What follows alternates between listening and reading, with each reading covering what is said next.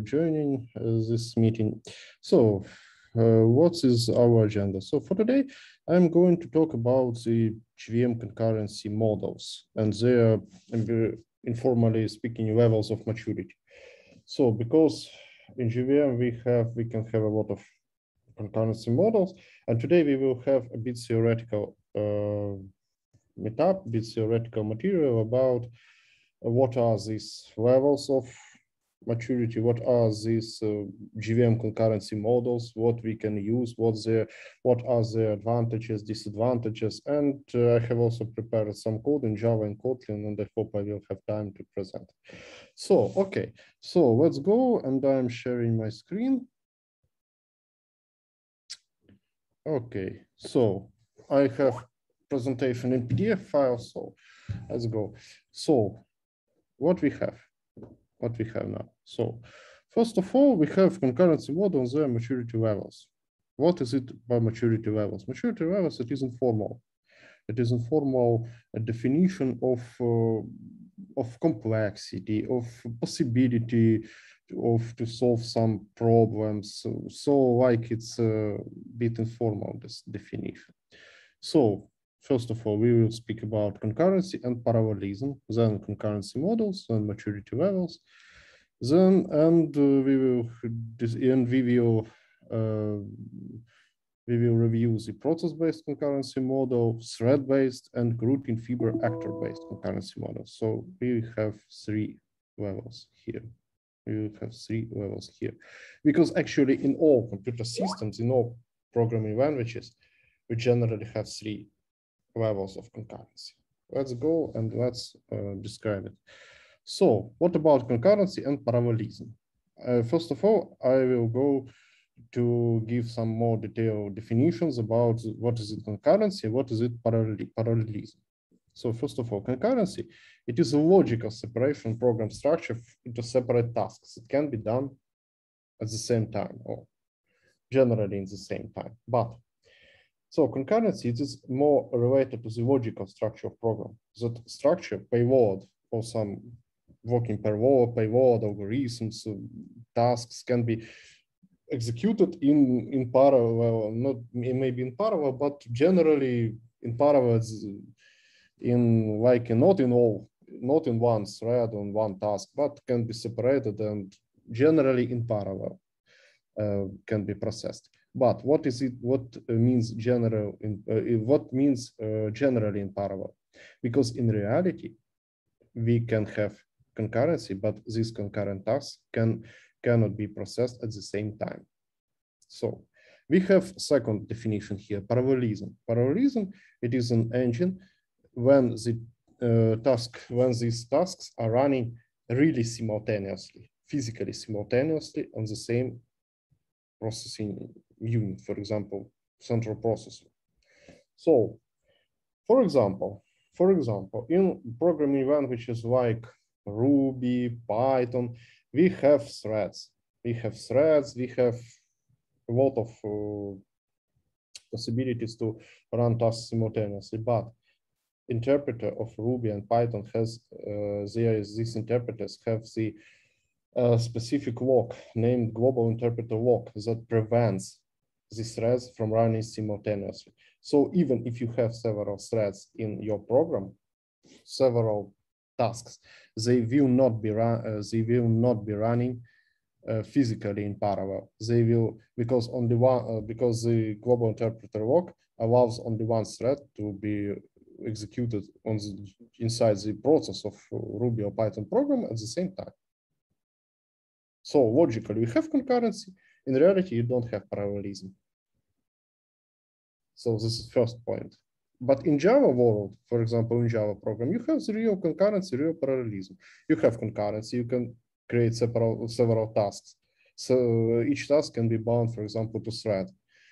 The most simple case. Each task, each thread, for example, thread, runnable, and and these threads will be running at the same time, physically on the same processing unit. Of course, if this processing unit allows several threads, for example, it has several cores, because if you have only one processing unit with one core that doesn't allow any multi-threading, you will have uh, the same way. You will have the same picture. You will have concurrency, but you will not have parallelism. You understand, yes? So maybe you have uh, any questions here. So first point about concurrency and parallelism. Okay, so if any, if no questions, so let's proceed. So, so concurrency models. What is a concurrency model? Concurrency model specifies how execution elements in the system collaborate to complete the task they are given. So actually how concurrency is implemented, speaking informally.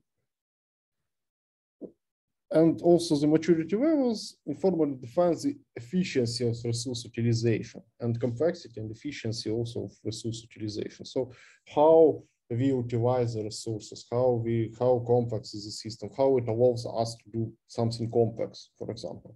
I will uh, explain later uh, why some simple concurrency model with simple maturity level doesn't allow us to, for example, to write our own oracle, for example. Yes, it allows us only to write something very simple. So let's go. So first, first, first our concurrency model, it is process-based concurrency model. It is child level of maturity. The best choice for simple cloud microservices. So child level of maturity doesn't mean that it is bad process model. It is not bad. And actually it is very good in real microservices world. It is very good concurrency model. So it is not bad. But this concurrency model doesn't allow us to do very complex tasks. What is it? So logical tasks, logical tasks, task how to do something are mapped to processes. So not to threads or some other, but to processes. For example, Apache, Ruby on Rails, partially Python, partially OCaml, some code-based architectures like Lambdas, Lambda functions on Amazon, something like that. So first, first of all, when we need to scale our system, we need to create several processes, not threads inside one process, but several processes. For example, run this Ruby on Rails application several times and you will receive several processes. And then any scheduler can uh, split the workload across these processes. You will receive actually horizontal, uh, horizontal scaling. So what are the advantages of this approach? Advantages, no shared data because all data is bound to the process. You know that uh, in this case, you don't have any concurrency issues. So you will not have any requirements of synchronization inside process. You will have process with one thread, for example, Ruby on Rails application, global interpreter lock, you will not have any concurrency issues. No concurrency problems inside process. So very simple model if you need to split the when you need to scale the system horizontally. Actually, this model is well recommended if you have simple, comparatively simple processing. For example, if you can write several Lambda functions in Amazon and scale it. So horizontally, so Apache, works in this process. I mean, Apache is web server Apache because it has not a pool of threads, but it has a pool of processes uh, and scale the workload across, around the across the processes. So OCaml also has its OCaml also has threads inside it, but it uh, has also global interpreter lock, so it doesn't allow to threads to be run in parallel. So in this case, we don't have parallelism in this model. We have only concurrency. But if we have concurrency, we have possibility to scale. So it's it's not bad concurrency model. It's not bad, but of course you under, you should understand that we are not able to build our own oracle in this model of concurrency because when we need to build something stateful application, at least complex stateful application, we will have uh, we will have uh, requirements to somehow share share the memory and also protect access to this shared memory by using synchronization, volatiles, uh, transactions, and something like that. So this case, uh, here is very simple model. So I will not present it with the code, so you maybe it is uh, quite understandable. Second one is thread-based concurrency model. This is our usual Java thread-based model, for example. It's I'm talking about like teenager level of maturity, the best choice to have uh, to serve a few complex requests. Ah, oh, I'm sorry. What's about disadvantages of this system? Disadvantages not possibility about process-based concurrency model. Disadvantages are no possibility to write a complex data handling system, dependency of database or other stateful application.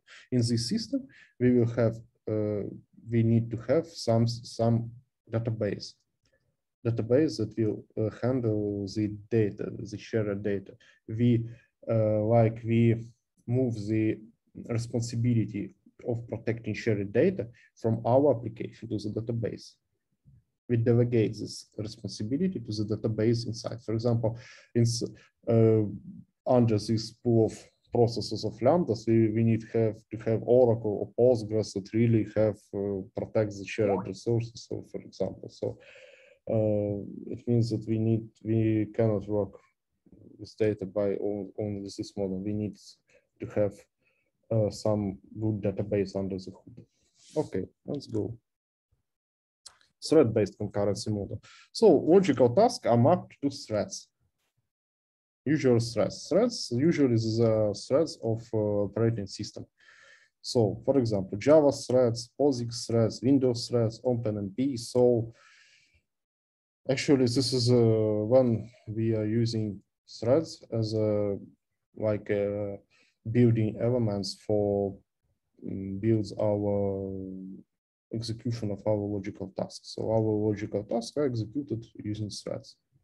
In this case, we have concurrency and we have real parallelism because several threads, for example, in Java can be run in, in the same time. For example, each thread will be uh, operations operating system will schedule each thread, for example, to each own execution core, for example, or to the same core, if, for example, core with uh, hyper-threading, for example. So. So what are advantages of this model?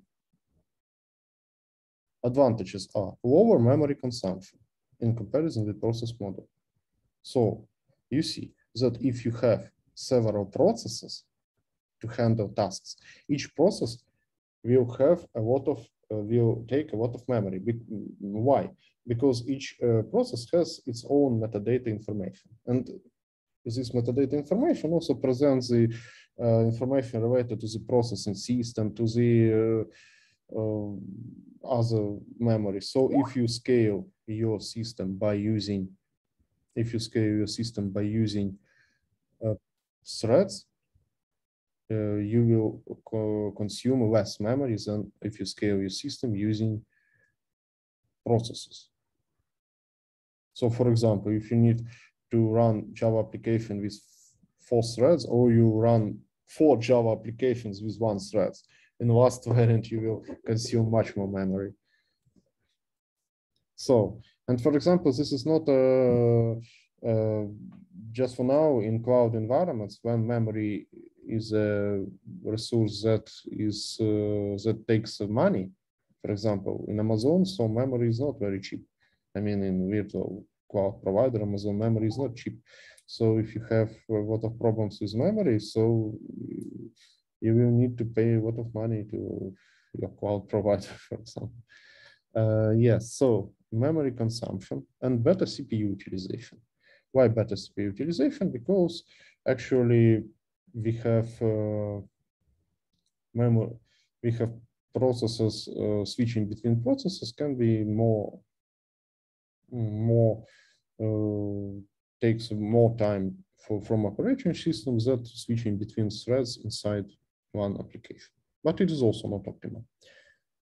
What are the disadvantages of this model? The disadvantages of this model first is data racing. A potential problems with data racing, potential problems with access to shared data inside application because several threads inside one application will work with the same data and we have potentially a lot of, we can have potentially a lot of problems with shared data. We need, we need synchronization. We need to protect these resources. We need to protect the memory accessed by several threads inside one processes. I don't uh, see that we always will have problems because we can, we can apply transactions, we can apply uh, proper synchronization, so we can avoid the actual errors. But usually we need to do a lot of work to prevent the data racing, prevent the access to shared memory. I mean, bad access to shared memory. We need to protect the shared memory here. Second one, it is uh, frequent context switching. When uh, processing unit switches from one thread to another thread, it means the uh, processing unit, for example, processing core, calculation core in processor switches the context of the threads. And this switch operation is uh, not very cheap in terms of resource utilization. So we will have frequent context switching here. Uh, second one, it is limited number of threads. Actually, we cannot create more than maybe two or 3,000 threads in, for example, in some applications, maybe more, but actually we will not be able to create a lot of threads. And if we create a lot of threads, we will have also problems with memory consumption or something like that. So, we, but we are not able to handle a lot of threads. For example, about millions of threads, operation system will not allow us to do that. And the third, the third element, it is possible callback hell. Possible callback hell.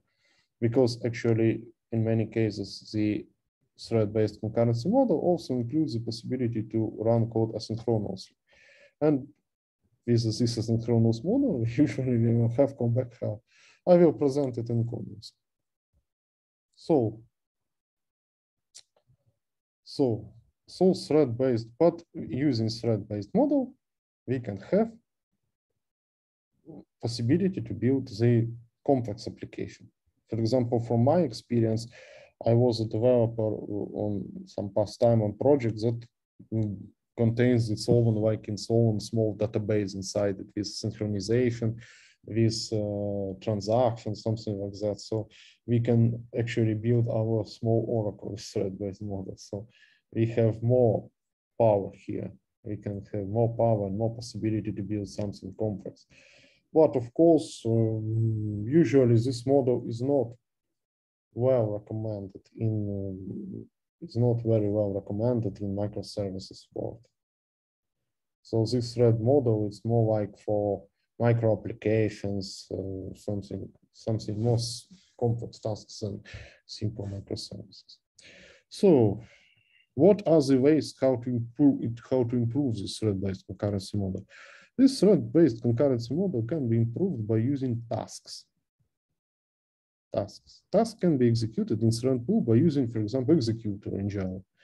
So we are not creating each thread for each task, but we create some parts of functionality as task and several threads, for example, small number of threads, for example, four threads can execute a lot of tasks. In this case, we are improving thread-based concurrency model. Advantages are better resources utilization in case when no blocking operations used. So we have better utilization in we we have better uh, resources utilization because we are not creating millions of threads. We can create millions of tasks and we have only four threads, for example, to execute these tasks. So it is a, uh, somehow evolutionary improvement of uh, design of thread-based applications. But we have the same disadvantages, same problems with resource synchronization. We still have to synchronize our resources. We have problems with resources utilization in case of blocking operation. For example, if operation one task performs some blocking call, for example, waiting for some monitor, waiting for response from blocking socket, we this thread will be out of game, and we need to create more threads here. So one blocking task can block entire thread. It is very interesting moment. And uh, in this case, we need to increase the number of thread pool used to execute tasks because if, for example, if we have uh, four threads in thread pool. And for example, one thread received task that, that became blocked, and so second thread received task that uh, that uh, causes thread to block. Then we have only two threads remaining to work with tasks. So in this case, we need to dynamically add more threads into pool. So in this case, if we have a lot of blocking tasks, we need to have a lot of threads. So we are not we are not handling our problems completely. We are not solving our problems completely. Of course, we can move to some modern reactive technologies trying to have non-locking solutions, but it is also not a complete solution.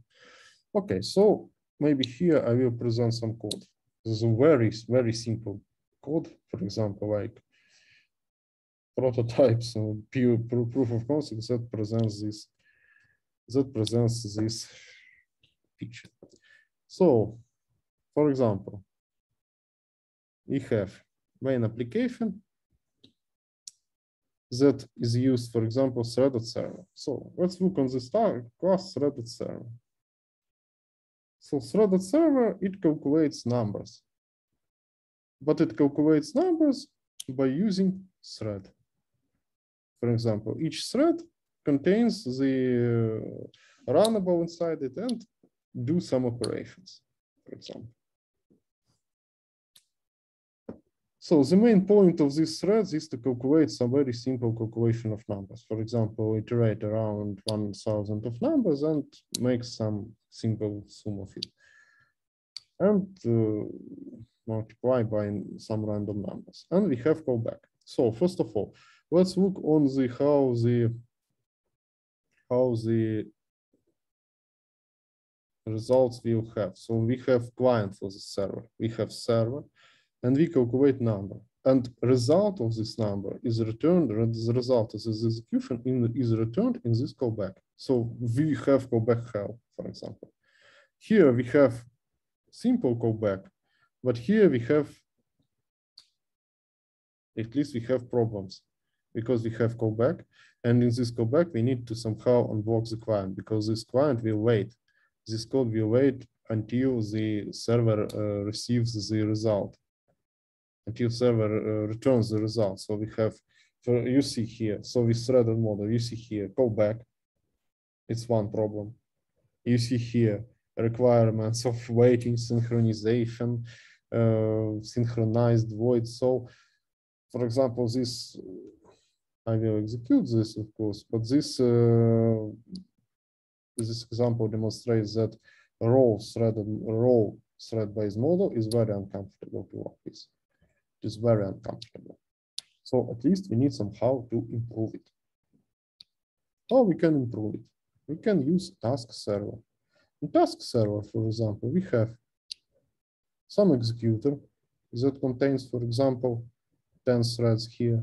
And we uh, send a task to this executor, and this task will do exactly the same, and it will notify the future. Future, futures, completable futures, they are something like very close to the reactive programming model. We have here, we don't have here synchronizations to wait for results. For example, if you see here future cloud, will have future, for example, less stupid future. Apply, we have future, we can combine async. So you see here that we can combine async, we can apply, so we can join. So for example, we can have some more interesting work with futures. So futures are more clever than, for example, stupid model is just thread-based and waiting for synchronization. So, but here I still need to wait for results. So at least I still need to use join. I still need to wait for results from all futures because I cannot move next uh, before I cannot receive these results. So also in future model, I also need to have, uh, I also need to have blocking call because I need to receive the result and I need to wait for this result. So I need to block my current calculation process to wait for the result. So now I will run this application. I hope it will be executed. Let's go.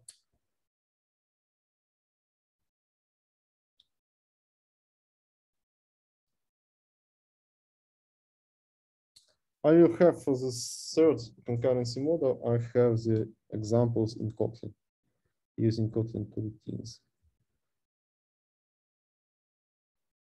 Okay, so what we have here?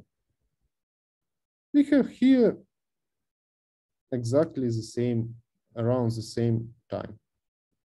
So our thread-based client takes this time, future-based client takes this time. So results are the same. And the results are actually the same. I haven't presented here, but results are the same. So actually this client is, is correct.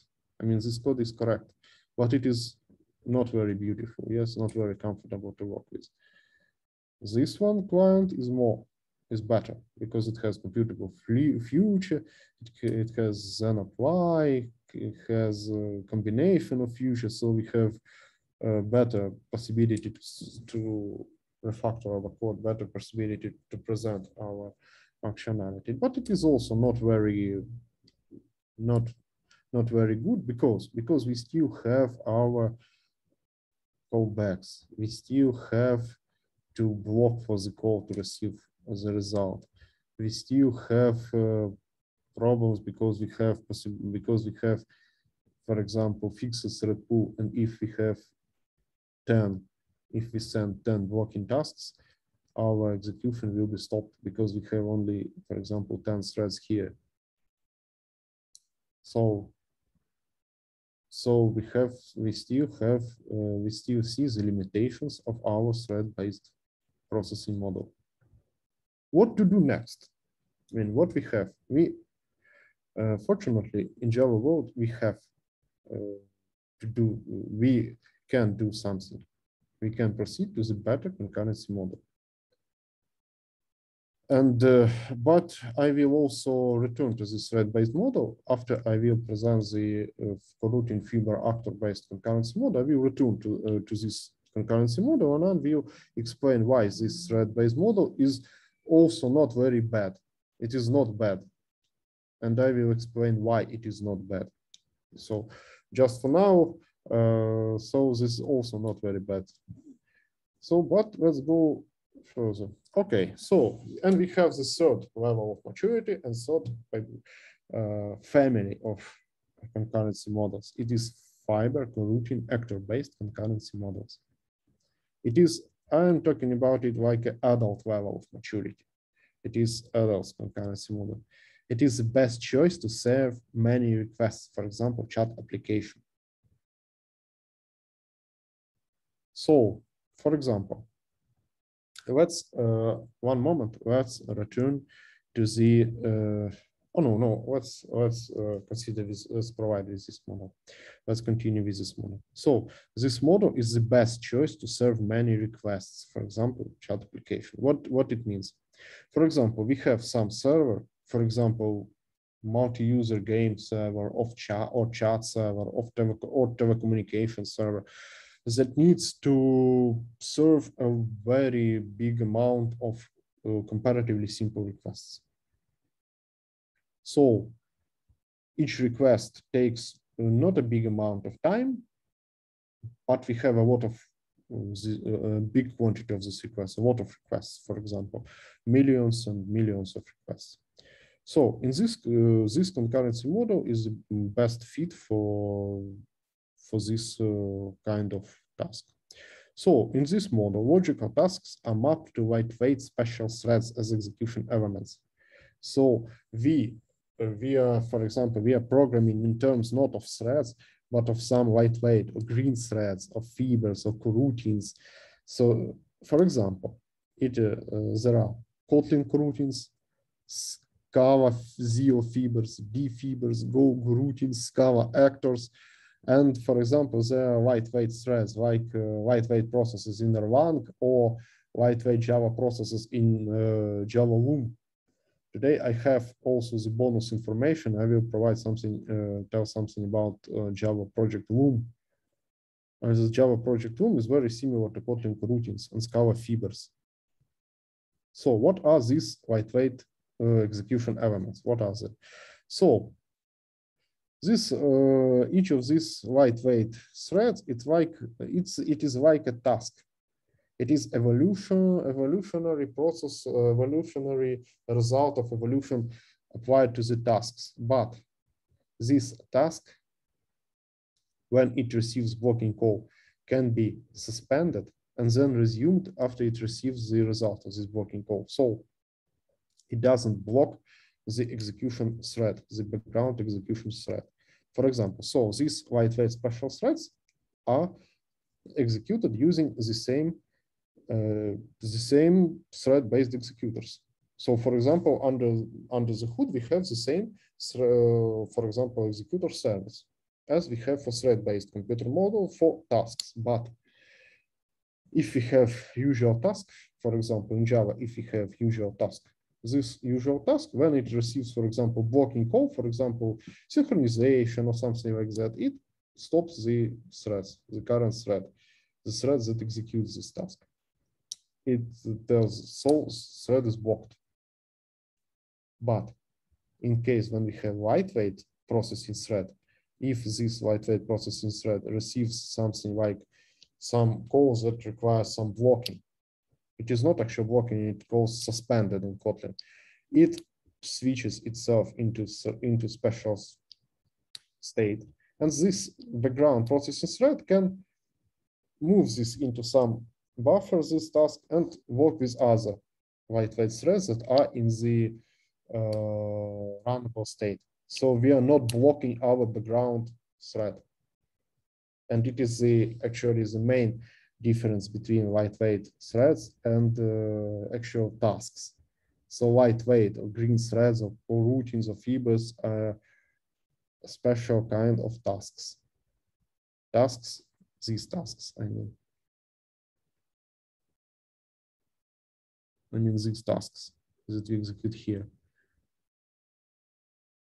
But for example, in case of usual task model service, this thread executor cannot move, uh, cannot switch from one task to other task during the execution. It need to uh, complete the task and then it can take the uh, second next task from the some buffer or some queue.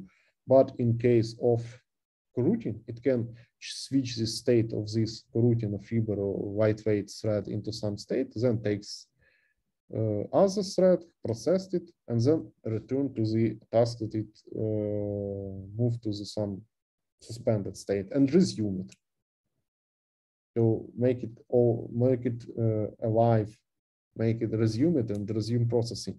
On the point that it stopped.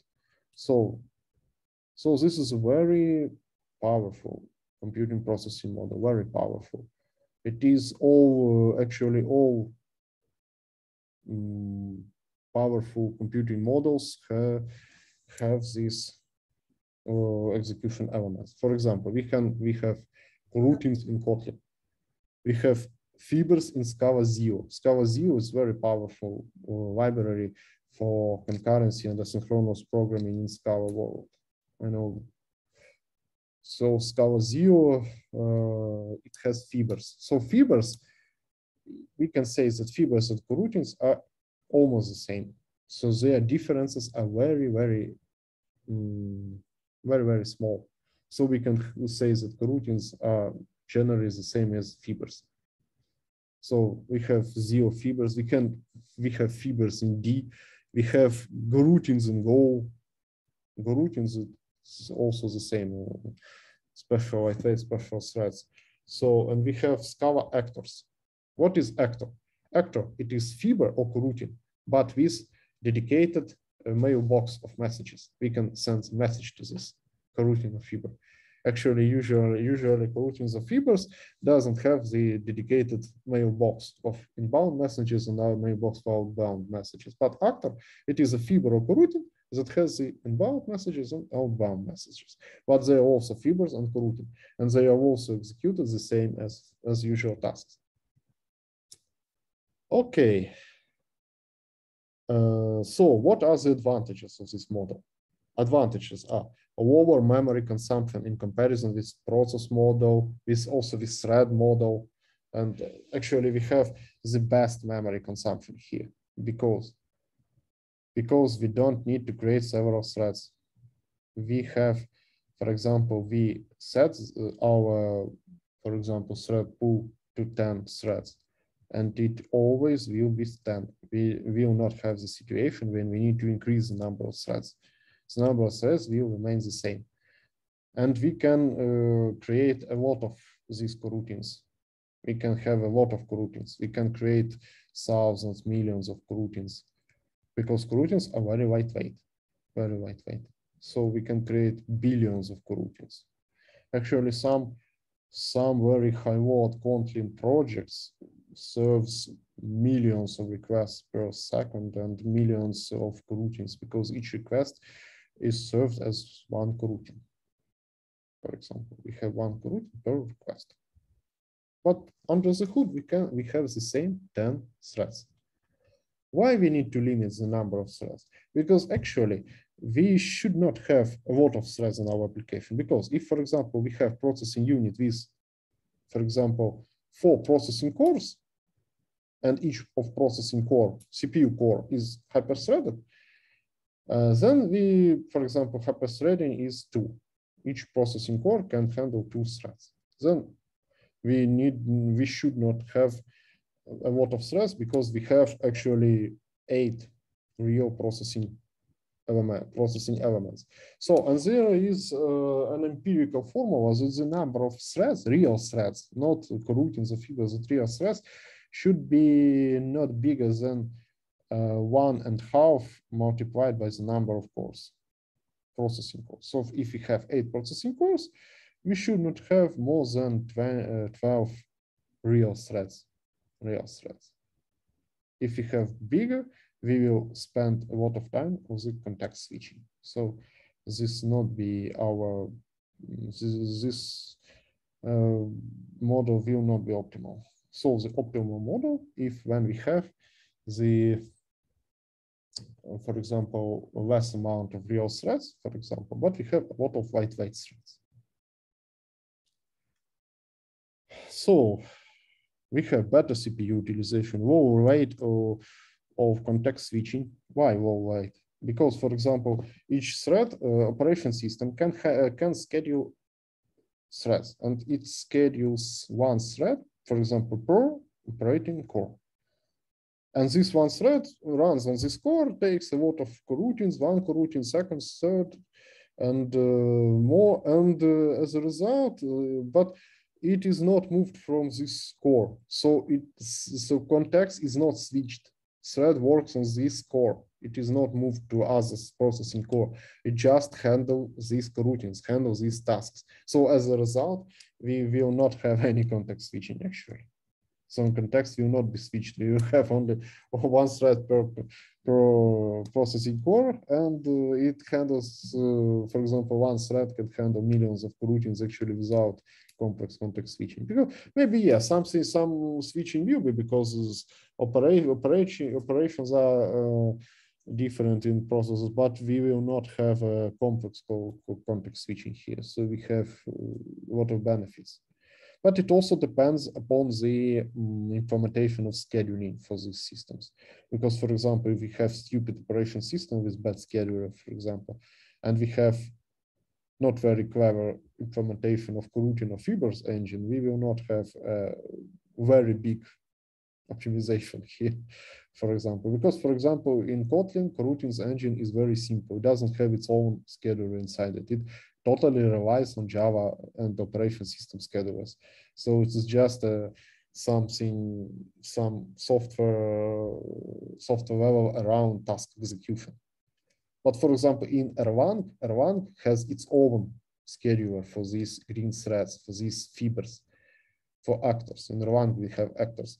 So it, it uh, doesn't rely on the um, actually operation system scheduler for scheduling. And Go itself, Go, uh, GoLang has the, its own uh, scheduler for these Go routines because it has the we have schedule an operation system and we have schedule in this uh, backend uh, runtime of these uh, fibers, routines. But in case of Kotlin, we don't have uh, coroutine scheduler. We have only thread scheduler. So coroutine system is not very com complex in, uh, under the hood. So we just have something like uh, software level based on the task execution. We not have we don't have very complex uh, magic here.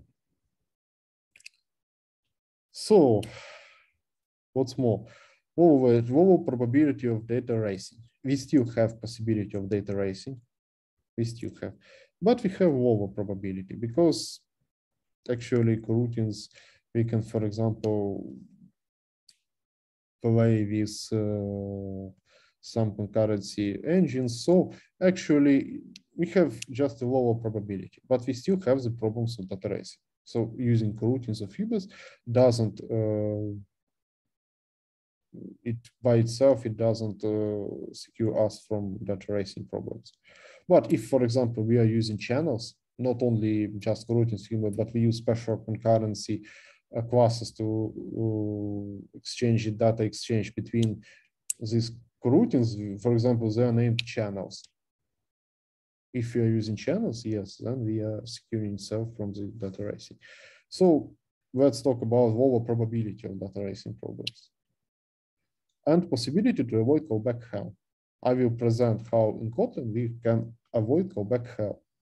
Why we can avoid? Because we have, because we can uh, rely on this suspend resume pair of operations. And this suspend resume pair of operations allow us to write asynchronous callback code as synchronous. So in some in some points, these uh, concurrent, these uh, fibers routine models allow us for, for the developer to avoid callback. But it doesn't uh, prevent us from other problems. So this concurrency model is quite powerful and it also has some problems. So we have disadvantages of this model. Synchronization is still somewhere needed. For example, if we are not using, for example, if we are not using channels, we still need to have volatile, synchronized, uh, mutexes, semaphores. We still need to have all this synchronization. We still need to, we still have to protect our shared data. Second one, special transaction handle, handling is required because some transaction and some Java-based transaction engines works not very good with routines and fibers because transaction context usually is bound to the thread, real thread, Java thread.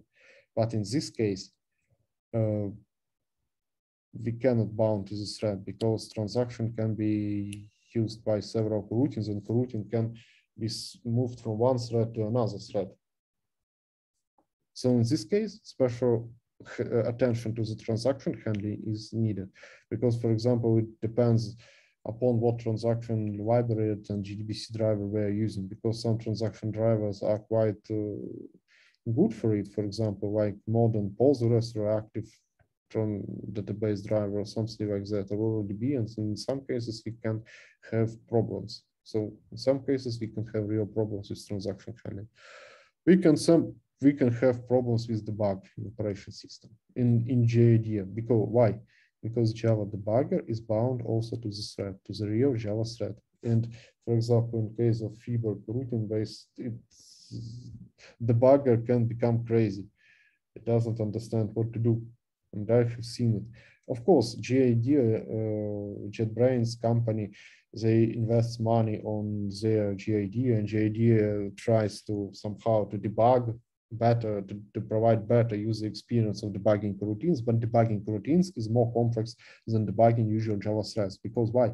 Because JID by itself doesn't have debugger. It relies on the Java provided debugger. And Java provided debugger relies on the Java thread-based model, not on coroutines or Fiber model.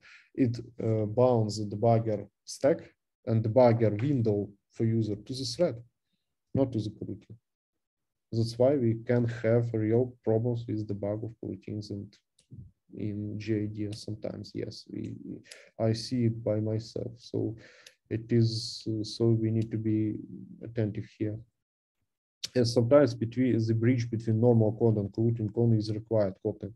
Somehow we need to in Kotlin, there is a bridge between coroutine code and normal code. So we need to be attentive when we mix the coroutine-based code and normal code. Normal code, it means thread-based code. And of course, we can have also problems with distributed tracing because distributed tracing relies on the tracing that it serves in the thread local and thread local class is bound to the thread, not to the coroutine. So actually, we can have a lot of problems with any of the with a lot, a big quantity of Java libraries here. So that's why Project Loom is also I need to talk uh, on Project Loom some words. Project Loom, it is Fiber implementation for Java. It is almost the same as Kotlin coroutines, but it is delayed and it will be delayed uh, for um, years because uh, JDK team and I was on conference on online meetup with uh, representatives from um, Java uh, GraalVM JDK team. And this guy told us that actually there are a lot of problems with bridge between uh, usual Java code, for example, JDBC drivers, uh, mm, other parts of Java platform and Project Loom, because the, because a lot of a lot of moments in Java world is are bound to the thread as execution element, not to the coroutine of Fiber. Because so I can say that we will not have um, project Loom quickly. So we should not rely to, to receive quickly receive uh, totally correct project Loom implementation. Yeah. So just for now, we can play with Scala ZIO fibers, we can play with Kotlin coroutines. so, so situation with Project Loom is complex because this uh, concurrency model is quite powerful and JDK team tries not to introduce any problems with backward compatibility. So they need to seamlessly integrate the project Loom inside the current thread-based uh, libraries of Java. And uh, of course, they have problems with it because uh, actually we usually we need bridge between normal code, I mean thread-based code and coroutines-based code. We need a bridge because without this bridge, we will have problems. In Kotlin, this bridge is de defined on the compiler level. I will present it. But in Java world, they actually maybe don't know what to do with this bridge because uh, for example, in Erlang world, we don't have this bridge. Why? Because we don't have alternatives of actor-based model in Erlang world. In Erlang world, world uh, every task is bound to actor. There is no other possibilities to do. But in Java world, we can create several threads and using usual tasks, and we can create routines. So there is something problems how to uh, how to unify, how to combine this path of course. So, so the situation with uh, this Fiber coroutine actor-based concurrency model is complex. For, for example, now we have good workable models of Kotlin coroutines, Scala fibers, for example, Scala actors. But we need also to understand that uh, this, uh, for example, for mission critical application, maybe maybe it is better to use simple thread-based code mode. And let's go to the code. I will present the code now, and then I will return and I will uh, present the one additional moment about it. What are disadvantages in terms of business-oriented applications with thread-based model and coroutine-based model models. So let's return to the code. So here I have created some Kotlin coroutine server, for example. And uh, I have created coroutine client. So here I have the also the same engine. It is almost the same. I mean, calculate number. So here we use this, this very simple point. We have global async, async, and here we have this code. So it's like a sending task here. And we need this, we need to uh, declare this model as suspend it we told compiler that this uh, function uses coroutine. So this is a bridge introduced on compiler-based code. Uh, on compiler, this is bridge introduced on compile introduced by compiler on the uh, level of language. So and here we have this same engine, same function also suspend and also we send some code as coroutine. So global async context, actually this is a code how to execute coroutine. And here is in brackets we have coroutine code. And here we have Kotlin client. So client is very simple. You see here, we can also have, for example, get number. For example, we are using also we have we are using also stupid server, this threaded server, and we're using clever server, coroutine server. And how we, for example, for example, we have the bridge between usual callback. We need we can use special instruction named suspend coroutine, and we present our callback based code into coroutine code using Kotlin. So here we have get stupid number. So for example, we have stupid def await, we have clever def async, we have the same pairs.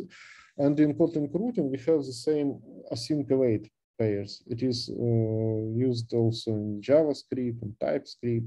So it is when we need to receive some future-like processes. So we, we can async, we need to, when we are using async, we send the code that returns some result. We can wait for this result using await.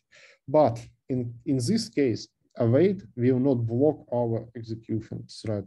Await, when we are using await here, we switch this routine to the some specific await thread and thread that you uh, that process this coroutine will switch to other coroutines and then returns to these elements when await receives the result. So for us, you will see that we have more clean, clean code here. So we don't have uh, complex callbacks. We actually we have the we are using this we are working with asynchronous code uh, uh, exactly the same way as as with synchronous code. You see here. So await await. So there these calls are asynchronous, but we are working with it in code like with synchronous code. So we totally uh, remove the callback here. And we have also the bridge. We can build the bridge between old callback related code you see here with callbacks. And the bridge we're using suspend coroutine to build a special special coroutine that uh, is built around this callback hell. So we can isolate the callback code, code old callback code with coroutines, and then build our clean clean code using coroutines. So very interesting possibility. It is all about Kotlins. I didn't prepare the Scala related code because I think it's maybe out of scope of this of this uh, meetup. So let's go. Let's execute this Kotlin code. So and here coroutine server you can see here also. So at least you can see here that uh, our code for execution is much more simple, is much simpler than, uh, for example, even this code, uh, the future-based client you see here, yes? So, oh, this one, yes. So this one is not, it's not very beautiful, yes? It's synchronized, wait, so so this this code is much more is much better. So coroutine code, it is coroutine uh, pro, coroutine execution model is very powerful, and this execution model, uh, I mean Kotlin coroutines processing engine is very powerful. It it uh, really um, implements the coroutines of fiber-based concurrency model. It is very powerful uh, tool, very powerful, and uh, actually the most most matured software execution uh, libraries, software execution uh, systems uh, have these fibers or coroutines um, based based libraries. For example, Akka. Akka is very mature and very powerful execution framework for Scala, and it uses actors and actors are based on the are executed under the hood on the limited number of threads. So Kotlin uh, coroutine library is more simple than Akka actors, but it's also not very very simple because unfortunately Kotlin API is good, but it also not very simple, not very simple. It requires some time to to learn, to investigate. So it's not very simple. So, but let's go, let's execute this code.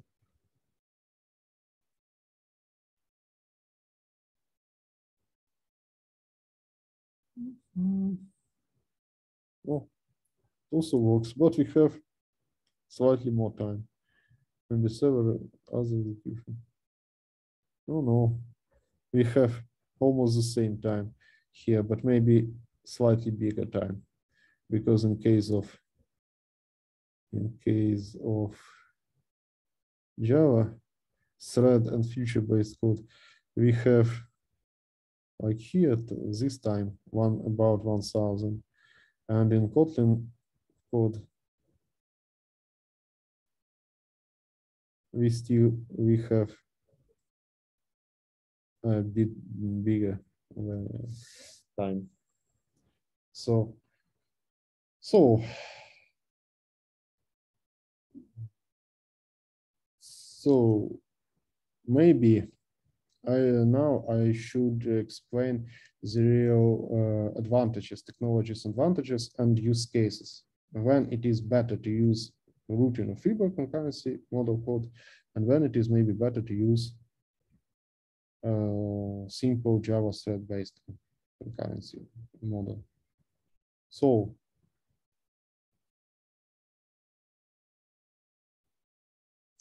here you can see also same as so the main main point here that if uh, from my point of view it's my own point of view so uh, maybe mistaken maybe but from my own point of view uh, the Kotlin coroutine or Fiber related code uh, maybe uh, is required to be used when it is necessary to handle a lot of relatively small requests. When, or we need to avoid callback hell. So two cases. When, for example, our code is not very uh, complex and it is not high load, for example, you have, for example, one of my past projects experience, it was a application, relatively complex Java application, monolith based application, but it was not, uh, it was not uh, it doesn't uh, it didn't handle the external requests. So it works uh, it worked only inside the corporative network it was not a product like uh, with uh, public address or something like that it was a calculation engine for specific financial calculations that was required only by some financial department of company a big USA-based company or big USA company. So it doesn't need, it didn't require some public host, public address. It works inside the uh, corporative network.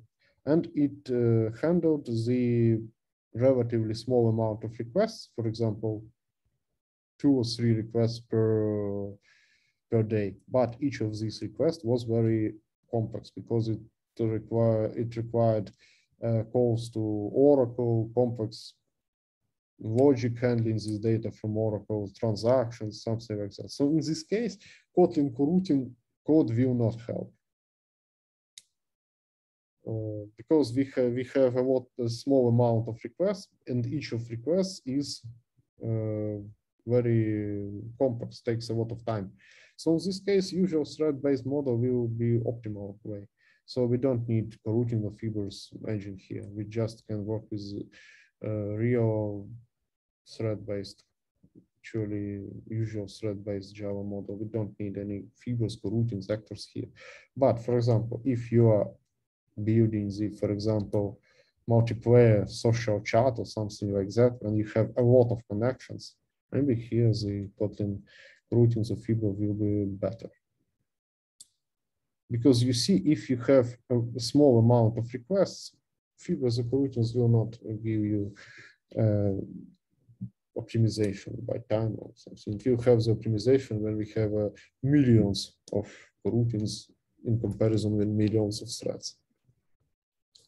And also the same, uh, also the same is for mission critical application. If application is mission critical, so any problem with any library is a very bad situation when we need to be totally sure that our application works correctly and uh, we need like solid solid based, uh, rock solid implementation, then the uh, usual Java thread based implementation will be better because you will not have problems with tracing, with debugging, with other problems. But in any other cases, and you do usually when we have a lot of callbacks and uh, we have uh, we have programmers that wants that want to work with something new and you need to avoid callback how you need to to to hand a lot of requests and maybe the uh, I think Kotlin Coroutine or Scala actors will be better uh, choice. And especially if you have a big amount of concurrency tasks in your application, then Scala actors or Kotlin routines will be the best choice. Because these models are actually, they are mature, they are ready models. Because, for example, Project Loom is not yet totally production ready, but Kotlin Coroutine Core is production ready, and Scala actors are production ready, and ZIO Fibers is production ready. Uh, so if you have a great degree of concurrency and real parallelism in your system, it will be better to use uh, Fiber actors uh, this system. Okay, so let's move on to the questions. So I'm open to your questions. Please ask your questions. Uh, I will be glad to see, see your questions, your impressions about. Yeah, I